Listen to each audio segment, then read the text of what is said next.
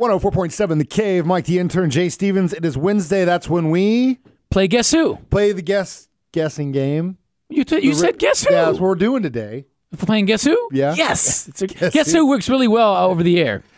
I have a hat. I am a bald man. I have long hair. Sunglasses. Who am I? I haven't played that damn game in a long I, time. love stink that of game. alcohol and beef jerky. Our engineer. yeah, Corbin. Gamble. ding, ding, ding, ding, ding. Oh, yes. Anyway, it's Rip It Apart Wednesday. Today, the subject is the Guess Who's No Time. Oh, the band, the Guess Who. The uh, I can't remember what the movie was. I think it was um, what was that movie about the writer? for Smokey and the Bandit 3. Smokey is the bandit. No, Smokey is the bandit. Einhorn and Finkel, Finkel and Einhorn. Um, Whoa. So, uh, whoa. I don't know that one. Uh, anyway, um, American. Damn it! Here we go. What's Drum roll. It's movie? coming. It's coming, What's people. The name of Listen that to Mike movie the where the intern. kid goes and does the journalist thing, and then the band's Almost called famous. Sweetwater. Almost ding, famous. Ding, ding, ding, yes, ding, ding, Jay ding. Stevens, our winner.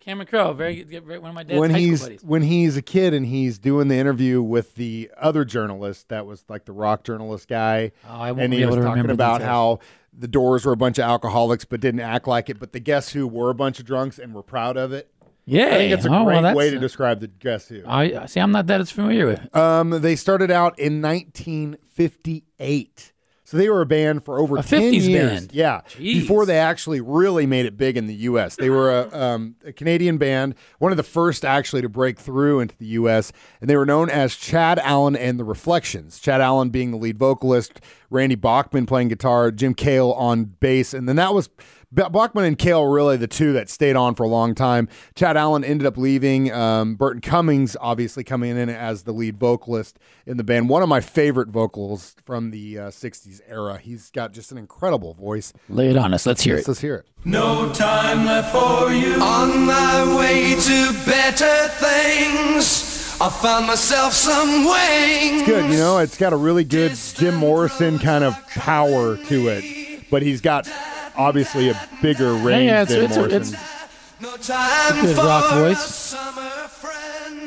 No time for the love you send. Seasons change and so did I. You need not wonder why. I just love his voice. I've always been a big Burton Cummings fan. Yeah, yeah. So, Obviously. So these are the same guys that did American Woman, right? Yeah, and actually and they're from that- Canada, so yeah. they came down here to get our girls. And like, and we don't want nothing to do he with you. said he came down here for wings too. Did you hear that first line? He said he went on a quest for wings. Yeah, I don't think In the 50s, we been had the wings. We did. We did have. The I guess we had the best sure. wings and the best girls. So uh, Still do. It's interesting though that you brought up American Woman because there's two versions of the song. The first one um, came out on a record they put out in 1969 called "Canned Wheat." Didn't really do a whole lot, but then they released "American Woman." That was a huge, huge hit for the band. Huge hit. So they Listen that, re-recorded boom. this. Yeah, See, found myself some wings. yeah. That's that's He your. passionate. That was Yeah. it. Was that's early. That's early rock vocals, That's man. precursor to what they were doing in the 80s. We'll get to more of Rip It Apart Wednesday, No Time from the Guess Who on the way next on 104.7 The Cave.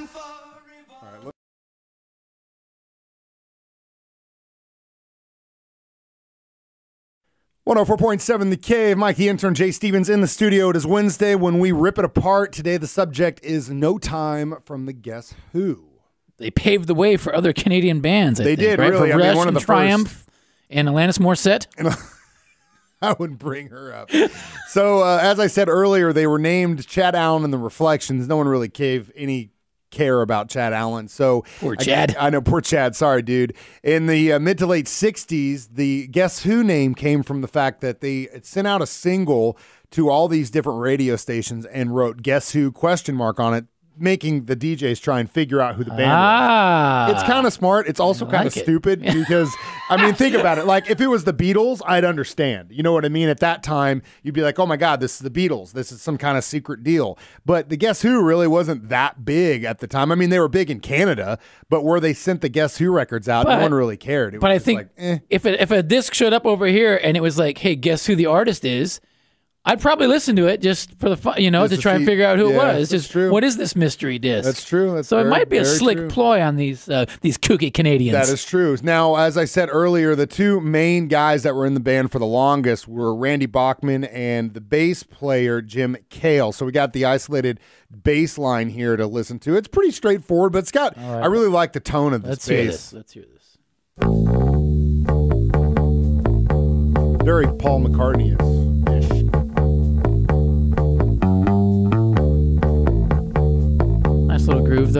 Happy Yeah. groove. Not bad. Pulsating. Pulsating. Pulsating.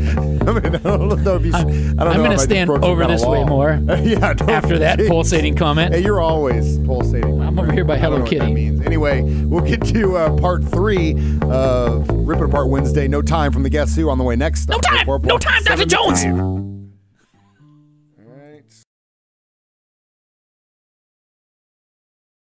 104.7 The Cave, Mike the intern, Jay Stevens back in the studio. Rip It Apart Wednesday. It is no time from the Guess Who. No time.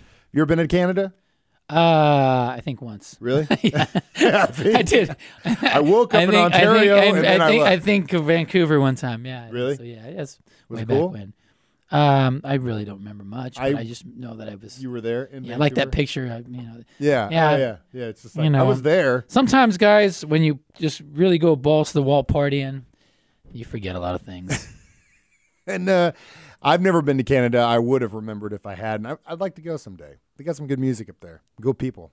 and allegedly, they have uh, good bands. They do. Chad Allen Reflections. The Well, Chad. Allen. Poor Chad. Still, I feel bad Chad for Chad. Allen. Still, what's he doing these days? Uh, actually, he, I don't know Oh, what here- Chad Allen's doing, uh, but I know that Randy Bachman and um, Burton Cummings still perform all the time. Bachman just put out a new record uh, last year the year before. As the Guess Who, or Uh, just as Ryan, Randy Bachman, but he had a whole bunch of uh, guest stars. Every song pretty much had like a guest music Ah. musician on it. that's the way to do it. Yeah, I think Neil Young was even on it too. Justin but, Bieber? uh, yeah, uh, Burton, man, he's been a busy guy for a long time. And the uh, next part that we're going to get to and rip it apart is like the uh, acoustic backing and the backup vocals, Rocking kind acoustic. kind of fill in Yeah, the yeah.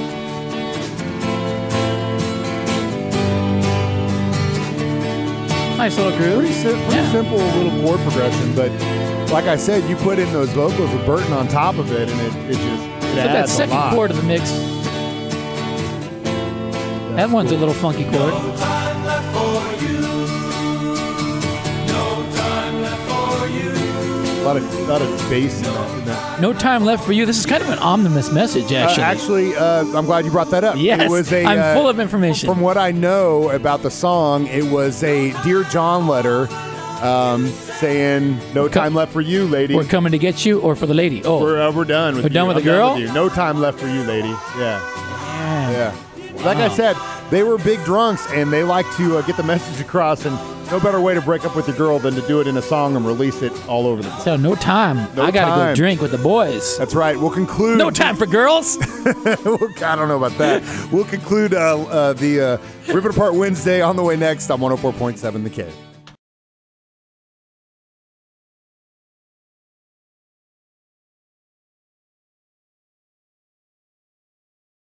One hundred four point seven, The Cave. Jay Stevens, Mike, the intern in the studio. We have reached the peak of I wish I still knew that word that I try to say every week for three months. Coup de creme. I, coup de creme. gosh, I'm gonna.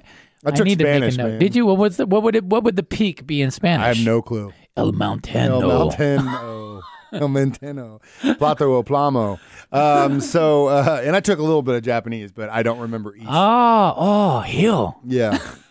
You know, it's funny. You go to heel. Japan. You go to Japan, and there are two things that you will say more than anything else, and that's domo and sumimasen. Domo is thanks, and sumimasen is excuse me. So many people in that country, you were bumping mm. into someone wherever you I was. I was thinking it was gonna be two totally different words. if I went to Japan, Yeah, it'd be you. two different words. Yeah, no, you.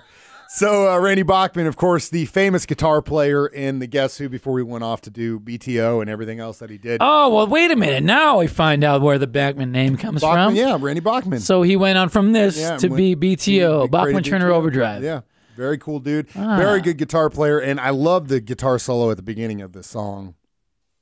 60s fuzz. Yeah.